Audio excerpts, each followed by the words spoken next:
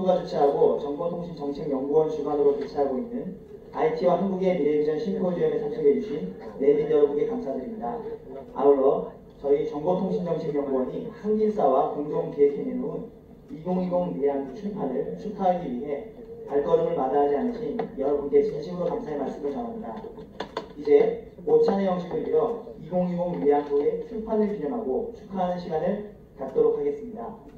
정보통신정책연구원 이주원 원장님을 단상으로 모셔 발간사를 듣는 순서를 시작으로 기념식을 시작하겠습니다.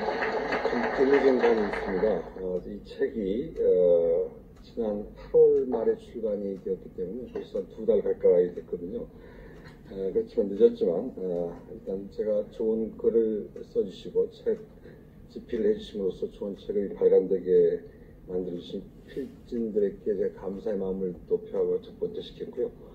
또 한길사에서 참 오랫동안 기획을 하고 고생을 많이 하셨습니다. 뭐 1년 이상 사실 하신 셈인데 거기에도 감사를 드리고 싶었고 또 아울러 오늘 지금 오전부터 오후로 이어지는 IT와 한국의 미래 비전이라는 큰 행사가 있는데 역시 미래를 논하는 자리이기 때문에 저희 오찬에 이렇게 참석하시면서 축하를 받고 싶다는 생각도 좀 있어서 이렇게 뒤늦게 자리를 만들게 되었습니다. 어, 개인적으로 제가 이 정보통신정책연구원장으로 부임한 지가 한 2년 7개월이 지금 다 돼 갑니다. 어, 근데 전 그 키스티 원장으로 오기 전부터 제가 혹시 이런 국제연구원장이 되면 꼭 해보고 싶다 하는 몇 가지 사업을 욕심낸 게 있었는데 그 중에 하나가 바로 미래에 대한 연구였습니다. 어, 아무튼 미래란 그래서 화두를 던지고자 많은 노력을 기울여 왔고요.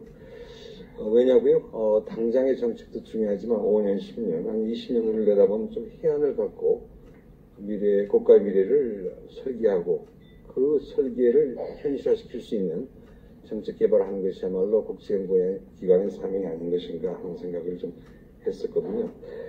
에, 우리 연구원 자체적으로도 비전을 갖고 실천 연구의 대작원들을 외쳐왔습니다. 그래서 오자마자 좀 내부적으로 좀 반발이 없지 않아 있었습니다만 있었던 정보사 연구실 이름을 아주 초기에는 미래 한국 연구실이라고 아주 아주 바꿨습니다. 어, 어, 그래서 미래 한국을 연구하는 실이 키스에 있도록 했는데 이러한 제 개인적인 포부가 뭐 나름대로 있긴 있었습니다만 어떻게 키스티만이 어, 미래 연구를 할 수 있겠습니까? 또 한편으로는 전 미래에 대한 관심은 뭐 국민 모두의 관심이고 인간의 뭐, 뭐 기본적인 호기심 궁금증, 궁금증인데 어, 우리 미래를 좀 같이 국민 전체가 공유했으면 좋겠다.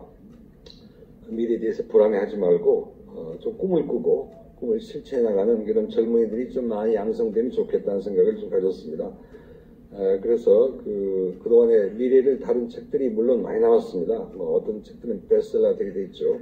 그 공병호 박사의 10년 후의 세계 한국 뭐 한국이 첫 번째였고 10년 후의 세계 뭐 베스트셀러로 알고 있고 또 작년 말경에 LG경제연구원에서 발간한 2010 대한민국 트렌드 해가지고 그것도 베스트셀러였거든요. 어, 그렇지만 이 베스트셀러는 좀 다르게 30개 아, 분야 정도에 종사하는 최고의 전문가들께서 2020년도 정도를 예측해서 한번 이렇게 되지 않을까 하는 그 상상력을 동원하고 그렇지만 전문 지식을 기반으로 한 상상력을 동원해서 책 한 권이 나올 수 있다면 그게 맞든 틀리든 참 유익한 일종의 꿈을 꾸게 만들 수 있는 어떤 기반이 될 수 있겠다 해가지고 1년 반 전부터 저희 사실 올해 키스티에 저희 정보통신정책연구원 20주년 기념 사업 하나로 작년 하반기부터 준비가 되어 왔던 것이 바로 지난 2개월 전 8월 달에 발간이 된 겁니다.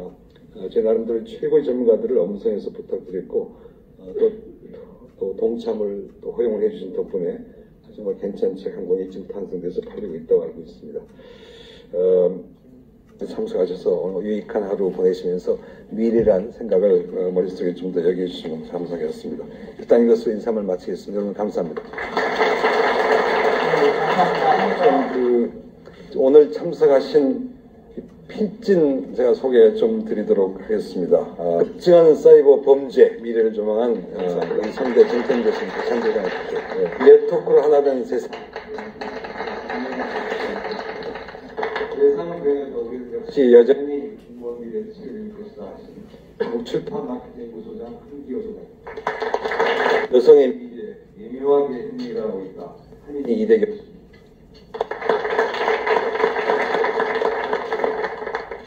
예, 네, 어디서 뭘 사게 될까 하시는 최영석 PCD 박사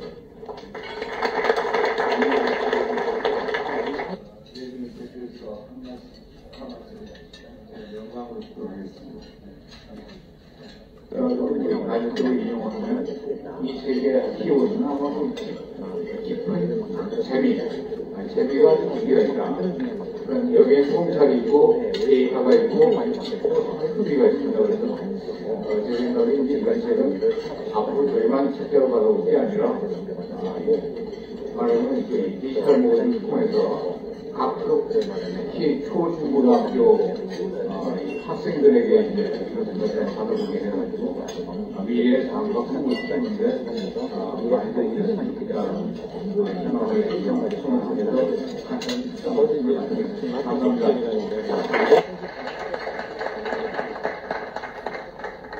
한 10년 후에 다시 한번 이 책에서 한 우리의 모습이 얼마나 그 예측이 맞았는지도 보시고 그 시점에서 다시 10년 후를 예측해보는 그런 책들이 앞으로 계속해서 10년 주기도 좋고 5년 주기도 좋고 계속해서 나와주셨으면 좋겠습니다.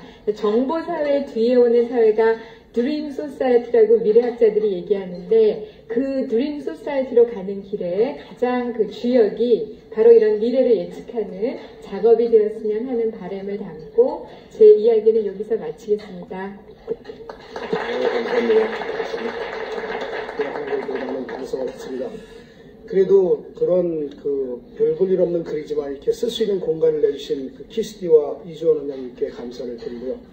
저는 이 책을 쓰면서 단순하게 이 책이 어, 다른 분들이 보시기에 앞으로 2020년에 우리나라가 어떻게 변할 것이다를 그 이해하고 어, 그것을 바라보기보다는 2020년도에 어, 살아갈 수 있는 그 참다운 시민상을 그리는데 일조했으면 좋겠다라는 생각으로 어, 글을 집필을 했습니다. 그래서 이제 앞으로 저희가 미래 유비코토스 사회나 convergence 시대가 올 때 이 책이 사람들을 어, 때 회자되어서 이 책에 있는 대로 그림을 그렸더니 좋은 인간이 나왔다라는 평을 들을 수 있으면 참 좋겠다고 생각이 됩니다. 고맙습니다. 좀더 함께 박수 쳐주시면 또 간발에서 더 좋은 책들 각자 또 그 집필할 수 있도록 할 테겠습니다. 여러분 박수로 맞고